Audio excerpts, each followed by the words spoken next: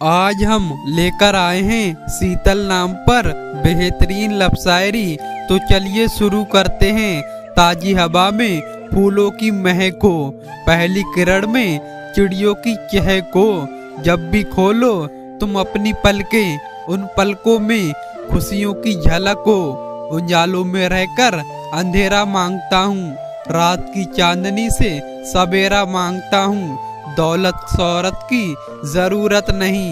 मैं तो हर सांस में तेरा नाम माँगता हूँ।